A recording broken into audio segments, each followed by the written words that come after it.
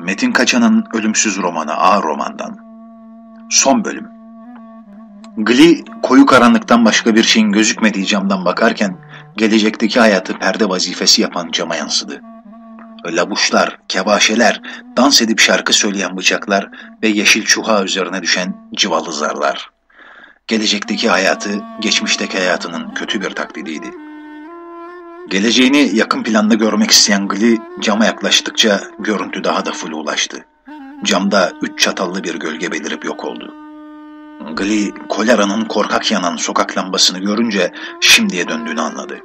Sokak lambasının ışıklarının yansıdığı yere gözlerini uzatıp gecenin şekillerini seyre daldı.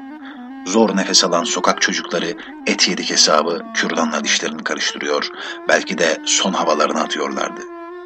Bitirim adayları sessiz yürüme provası yaparak gelecek için hazırlanıyorlardı.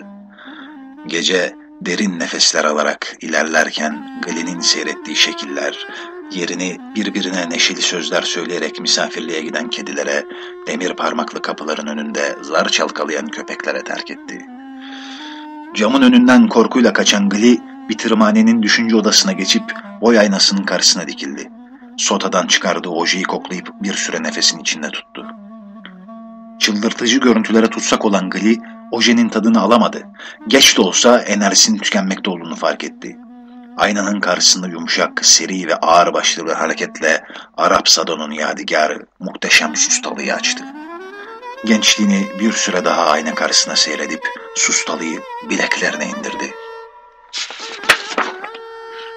Arka sokaklardaki keman filosu tüm kenti uyandıracak biçimde ağlıyor. Darbukalar kalp atışlarını en parlak yıldızlara hissettiriyordu. Çıt